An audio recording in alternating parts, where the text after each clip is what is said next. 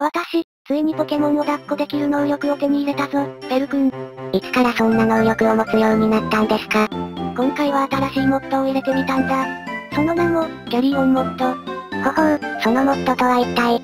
本来の用途は、チェストやかまどといった、アイテムが中に入ってるものを持ち運びできるようにする。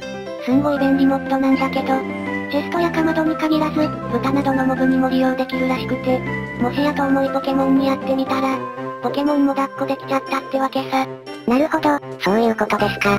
別のモッドで新たな発見ができたってことですね。というわけで今回は、様々なポケモンを抱っこしていこう。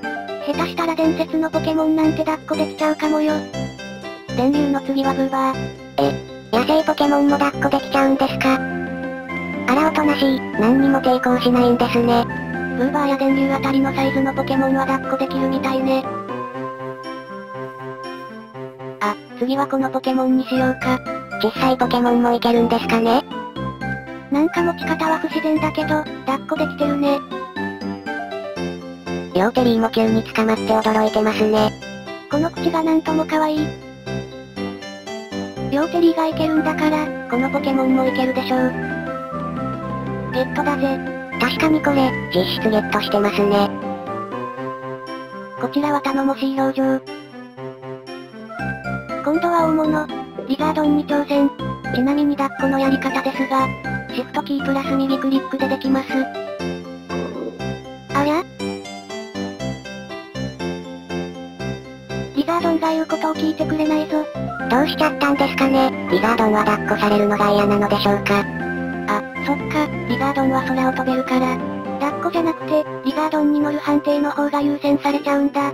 なるほど、となると、空を飛べるポケモンは抱っこできないってわけですね。ええー、せっかく海流抱っこしようと思ったのに。さあいよいよここからが本番。来ましたね伝説のポケモン。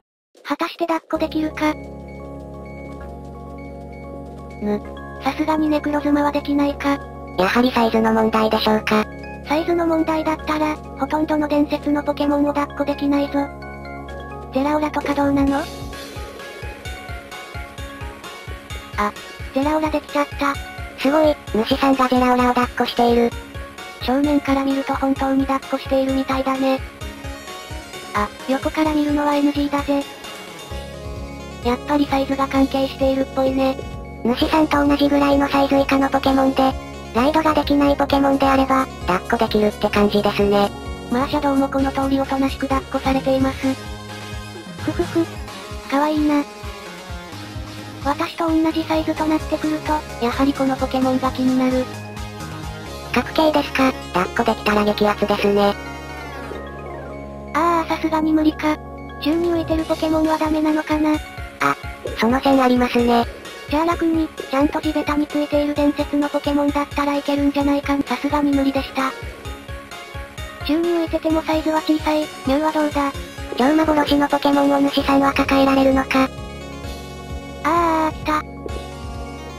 めちゃキュートな表情だ。ミュウも嬉しそうです。ということで、宙に浮いてるポケモンは、サイズが小さければ抱っこできます。今回導入したモッドで、私の身長と同じ、あるいはそれ以下のポケモンであれば、大抵のポケモンを抱っこできることが分かりました。皆さんも、自分の相棒のポケモンを抱っこして、マイクラの世界を飛び回ってみてはいかがでしょうかというわけで以上、もっと紹介動画でした。